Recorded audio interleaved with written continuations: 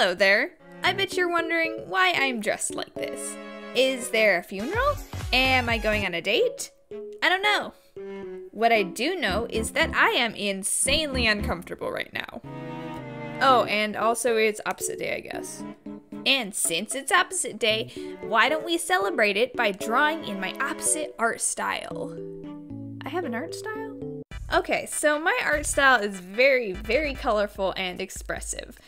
It also has a lot of round and soft shapes. Oh, and highlights. It has lots and lots of highlights.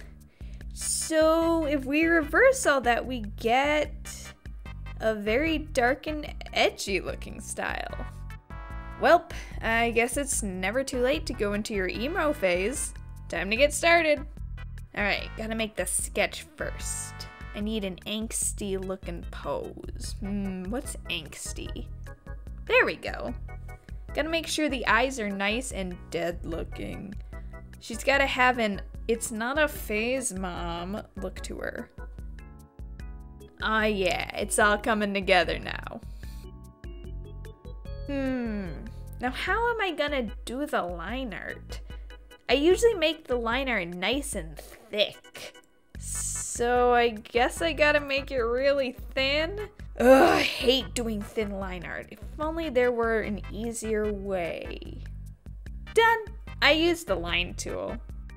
Okay, time to color. Ew. Maybe it'll look nicer once it's rendered?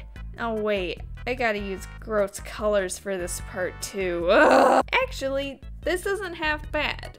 Do the colors look like disgustingly muddy vomit that someone puked on and then dumped in mud? Absolutely, but it definitely has a nice moody look to it. Now, what else does this need? Oh no. A background. There are two big reasons I do not like drawing backgrounds. One, it's very tedious, and two, I'm not great at it. Would both problems be solved if I did them more? Absolutely. But that requires drawing backgrounds. Anyways, it, it's done. That wasn't too bad, but it required me to use three whole brain cells. That's quite a bit. Oh my gosh. I gotta go draw something else to recharge my brain. Be right back.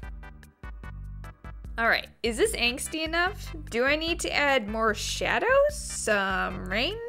Does it need to be pointier? Nah, Wowee, that sure is my opposite style. But uh, I still have no idea why I'm dressed like this. Can I take this off yet?